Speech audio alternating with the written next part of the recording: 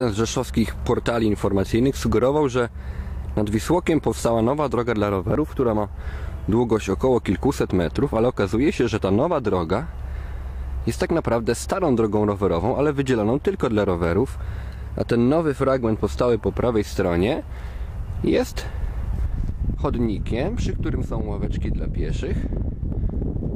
I w sumie jest to całkiem logiczne rozwiązanie, bo tutaj po ścieżce, która była wydeptana przez ludzi, którzy palą sobie tutaj ogniska, piją piwko i tak dalej, poruszało się wielu pieszych. No jak widać, edukacja rowerowa w Rzeszowie kuleje. Po tej nowej drodze dla pieszych jedzie sobie rowerzysta.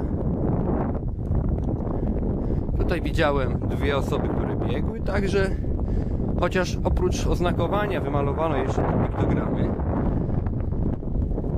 ludzie bardzo się do tego stosują.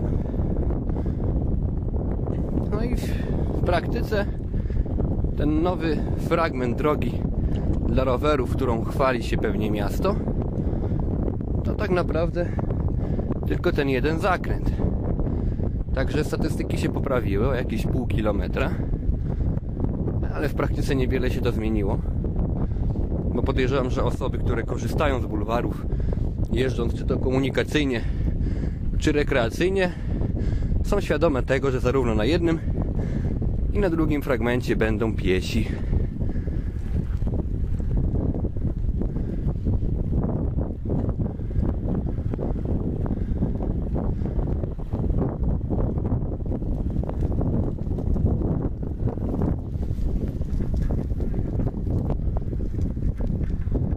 Kończy się ten nowy fragment.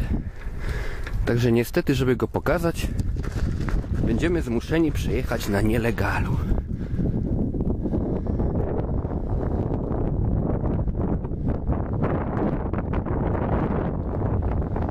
Jak się okazuje, nie jestem jedyny, który jedzie nieświadomie po nowym odcinku bulwarów. Widzimy ławeczki, także razem z tymi piktogramami jest to wyraźny znak, że ten odcinek przeznaczony jest tylko dla pieszych. No, czas pokaże, jak będzie wyglądało jego wykorzystanie w przyszłości.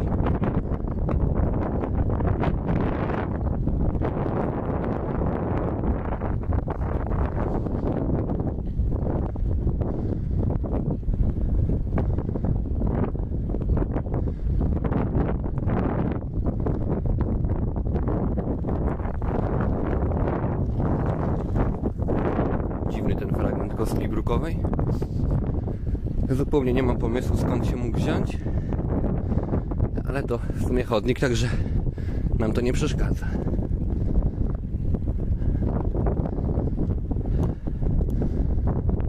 No i dojeżdżamy do końca nowego fragmentu.